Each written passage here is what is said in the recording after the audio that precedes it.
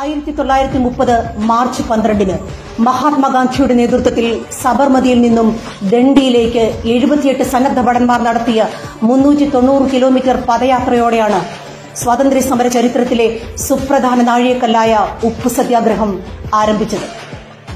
രാജ്യത്തെ സാധാരണക്കാരന്റെ ജീവനോപാധിയായ ഉപ്പ് വ്യവസായത്തിന്റെ കുത്തക ബ്രിട്ടൻ എഴുതി കൊടുത്തതിനോടുള്ള ശക്തമായ പ്രതിഷേധമായാണ് ഉപ്പ് സത്യാഗ്രഹത്തെ ജനം ഏറ്റെടുത്തത്.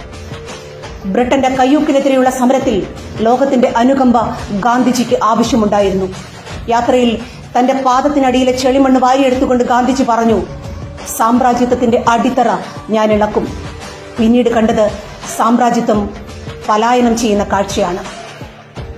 അദാനിമാരെ ലോകത്തിലെ തന്നെ ഒന്നാം നമ്പർ സാമ്പത്തിക ശക്തിയാക്കി വളർത്താൻ രാജ്യത്തെ നൂറ്റി മുപ്പത്തിയഞ്ച് കോടി വരുന്ന ജനങ്ങളെ ഒറ്റുകൊടുത്ത ഭരണാധികാരി നരേന്ദ്രമോദിക്കെതിരെ രാജ്യം ഒരുമിക്കേണ്ടിയിരിക്കുന്നു.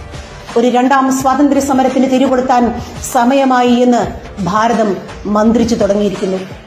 ചരിത്രപരമായ ആ നിയോഗം അന്ന് ഗാന്ധിജിയിലൂടെയാണ് നടന്നതെങ്കിൽ ഇന്ന് രാഹുൽ ഗാന്ധിയിലൂടെ അത് സംഭവിക്കുകയാണ്. അദ്ദേഹത്തോടൊപ്പം അണിചേരുക എന്നാൽ ഭാരതം വീണ്ടെടുക്കാനുള്ള ആ യാത്രയിൽ ഞാനും നിങ്ങളും പങ്കാളിയായി എന്നാണ് അർത്ഥം. സ്വാതന്ത്ര്യത്തിലേക്കുള്ള ഒരു നീണ്ട നടത്തം.